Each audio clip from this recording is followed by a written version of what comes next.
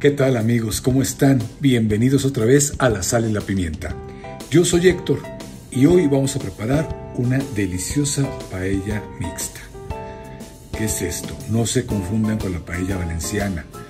Muchos nos venden que la paella valenciana es la, la paella mixta y no, la paella valenciana de entrada lleva conejo, eh, judía plana, eh, caracoles, arroz, ingredientes totalmente diferentes a lo que nosotros conocemos como, paella valenciana.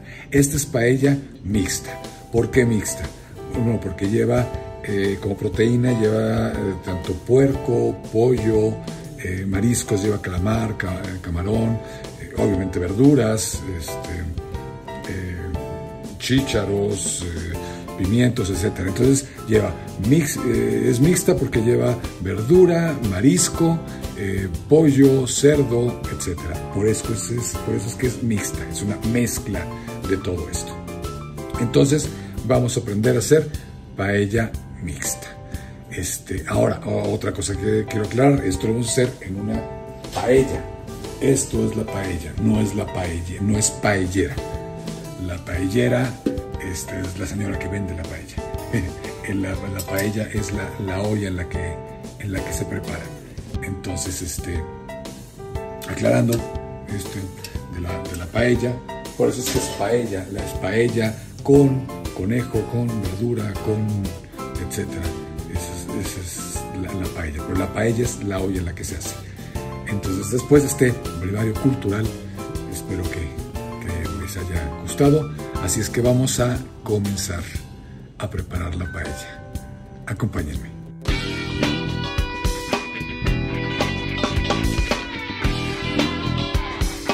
La sal y la pimienta.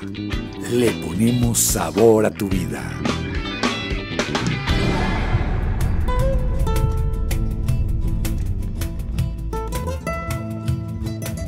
Muy bien, los ingredientes que vamos a necesitar para la paella son los siguientes.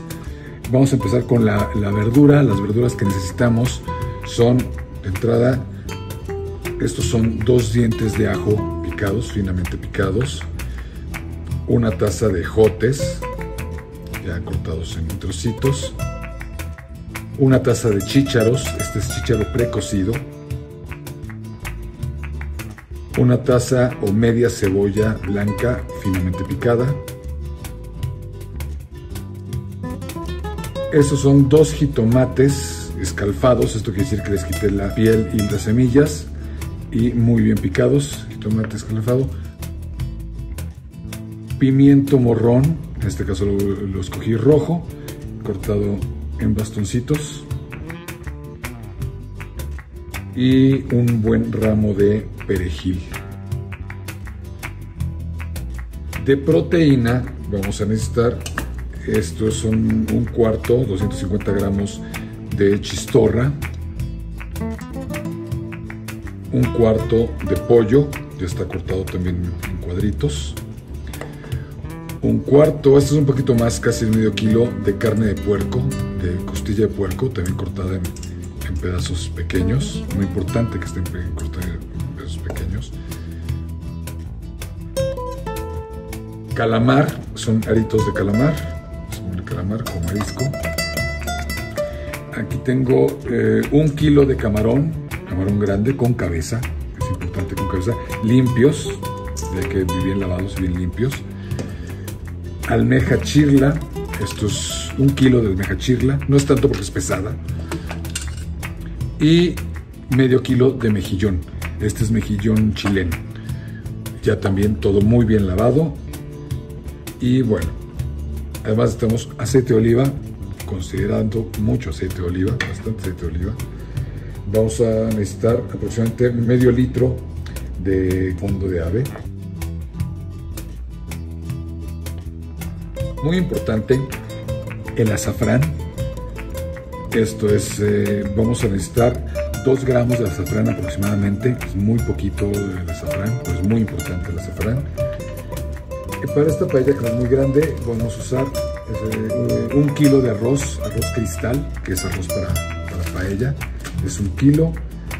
Un sobre paellero, esto es de carmencita, es el único que he conseguido aquí en México, que es muy bueno con un sobrecito, que esta es una serie de, condimentos para, la paella, sazonador para paella se llama.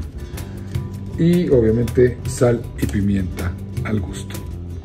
Así es que vamos a empezar. Para empezar ponemos el fuego alto a calentar la paella y agregamos bastante aceite de oliva, suficiente para freír toda la proteína, que es con lo que vamos a comenzar. Así es que primero ponemos el pollo y lo vamos a poner a freír por un buen rato a que empiece a dorar un poquito. Lo mezclamos bien con el aceite y vamos a salpimentar al gusto.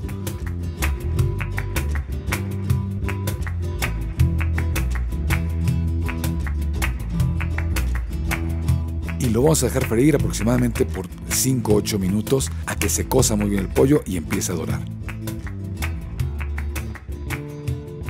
Una vez que está empezando a dorar, lo retiramos y lo reservamos para ocuparlo más tarde.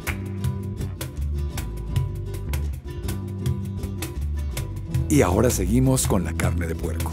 La agregamos también a la paella y la vamos a salpimentar. Esta va a tardar un poquito más, unos 10-12 minutos. Ya que está doradita la carne, la reservamos también. Y seguimos con la chistorra. La chistorra es importante que no le pongas ni sal ni pimienta porque ya es salada. Y ya que está doradita, también la retiramos.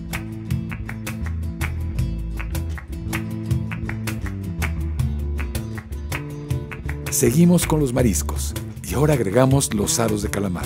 Esto es muy rápido para que no se nos sobrecosa. Esto tardará 3-4 minutos y lo retiramos. Y por último, el camarón. Agregamos todos los camarones y vamos a poner un poquito más de aceite de oliva. Y salamos al gusto. Cuidando que no se nos sobrecosen los camarones, esto tardará aproximadamente 5-7 minutos. Siempre cuidando que no se nos vayan a sobrecocer. Una vez que ya están listos los camarones, los retiramos y los vamos a reservar.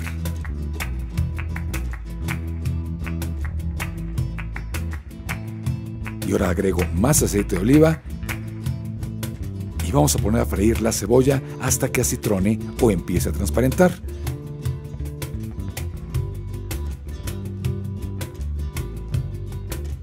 Ya que está transparente, vamos a agregar el ajo y mezclamos el ajo con la cebolla.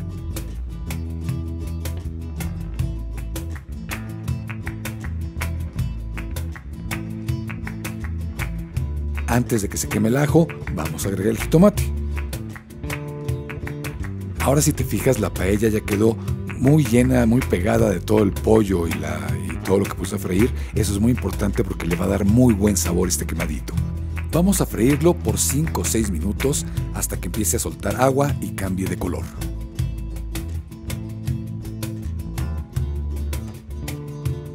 Y ahora agregamos los chícharos y los ejotes y vamos a mezclarlos con el jitomate y la cebolla. Estos los dejamos cocinar por unos 2 o 3 minutos y es momento de agregar el sobre paellero, con un sobrecito suficiente.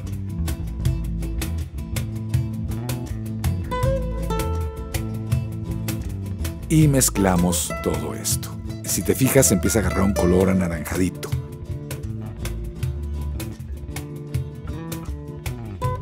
Y ahora el kilo de arroz.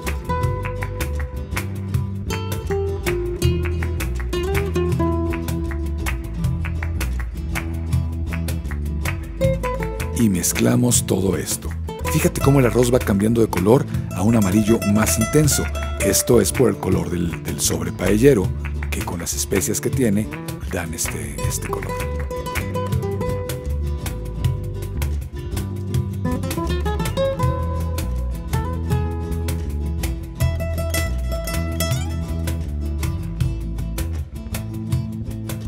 Vamos a dejar 3-4 minutos a que empiece a freír el, arroz y mientras vamos a activar el azafrán.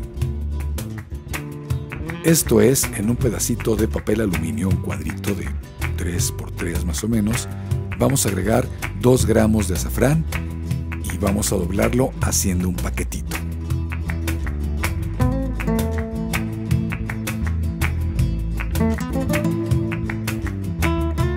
Vamos doblando las veces que sea necesaria para que nos quede bien sellado este, este paquetito para ponerlo a activar.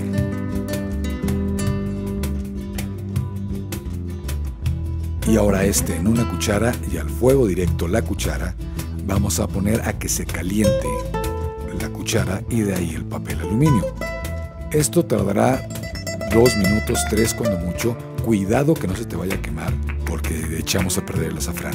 Es simplemente que caliente, que caliente suficiente y dos minutos después, sin que se queme, lo vamos a agregar en el fondo de ave o caldo de pollo y empieza a cambiar de color, se empieza a poner más amarillo, que empieza el azafrán a soltar todo su color y su sabor y lo vamos a dejar un rato reposar. Ahora regresando al arroz, vamos a agregar toda la proteína, el pollo, la chistorra, el cerdo y el calamar. Y vamos a mezclarlo muy bien con el arroz, que se esparza la proteína por toda la, la paella.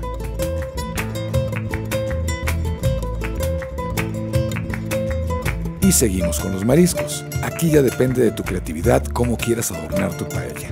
A mí me gusta poner los mejillones primero todo alrededor.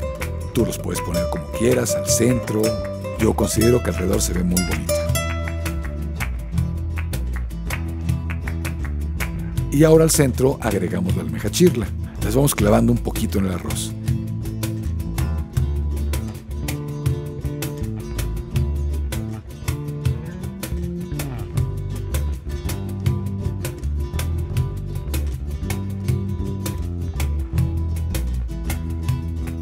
Y seguimos con los camarones. Esto también es a tu gusto, como tú quieras adornar tu paella. Como te comento, esto ya depende de tu creatividad. Como ves, yo pongo todos los camarones al centro.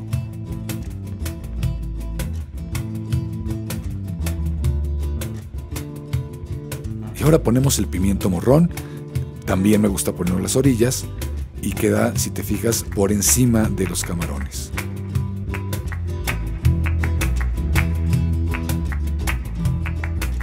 y ahora agregamos el resto de fondo de ave y luego el fondo con el azafrán. Y como ves, esto tiene que quedar, el agua tiene que quedar arribita, o sea, que, cubra todo el arroz.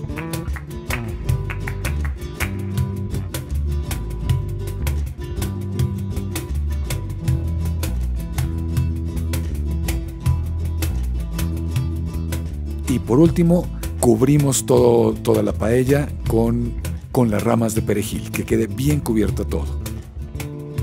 Y para finalizar vamos a tapar con papel aluminio, un papel aluminio grande y sellamos muy bien todas las orillas a que quede bien sellado el papel aluminio en la paella. Y vamos a dejar cocinar por una hora aproximadamente.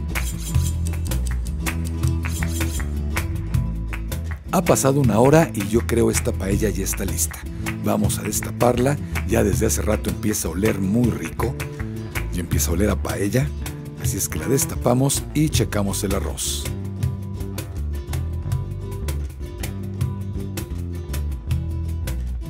Hacemos un poquito a un lado el, perejil que vamos a retirar para poder checar el arroz. Este arroz no reventó propiamente, pero ya se infló. Eso quiere decir que ya, ya está listo, está suavecito, está infladito y no, no se quemó. Checamos con la cuchara hasta el fondo, no está quemado. Y ahora retiramos todo el perejil. Todo este perejil se tiene que, retirar y se va a la basura. Esto es nada más para que agarre el sabor del perejil, pero no lo vamos a comer.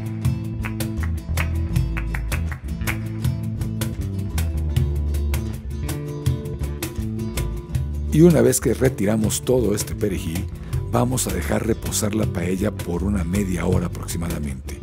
Esta paella ya huele delicioso, quedó muy rica, quedó muy bonita y solo la dejamos reposar para poderla servir. Muy bien, ya dejamos reposar la paella por entre 30 y 40 minutos. Estamos listos para servirla. Huele delicioso, se ve muy rica, espero les guste mucho. Y para servirla, yo la voy a servir en un plato plano. Lado un poquito de camarón y de marisco. Y la idea de servir la paella es que a cada comensal le, toque un pedazo de todo, junto con el arroz. Entonces abrimos un hueco Y vamos a servir el arroz. Ahí ya tiene chistorra. Lleva puerco. Acá un pedacito de, de pollo.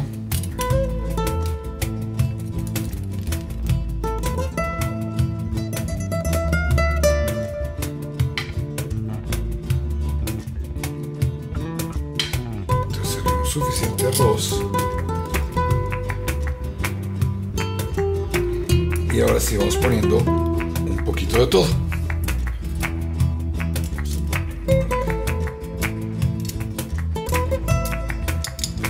Almejas chirlas.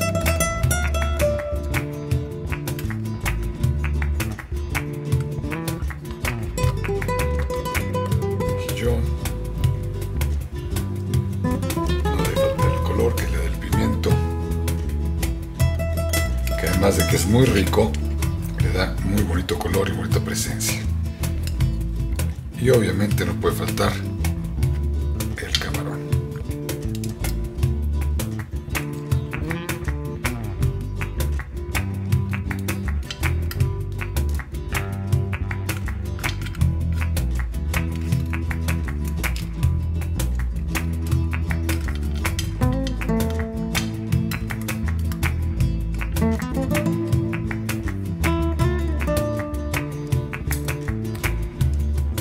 Está listo.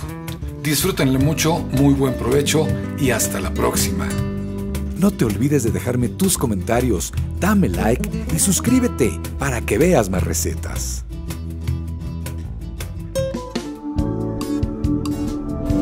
La sal y la pimienta le ponemos sabor a tu vida.